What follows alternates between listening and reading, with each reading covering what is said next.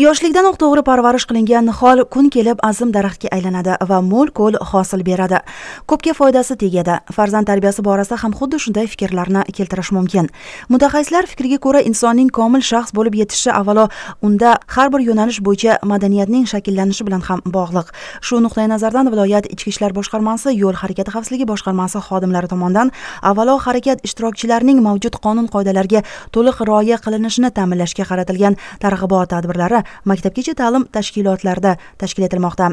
Mana shunday tadbirlarning navbatdagisi buxoro shahrining mohhosa tug'ruqxonasi oldida joylashgan xususiy maktabgacha ta'lim muassasasida bo'lib o'tdi.